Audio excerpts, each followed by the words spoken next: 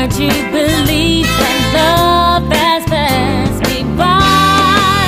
That's not the way I planned it. What can I do?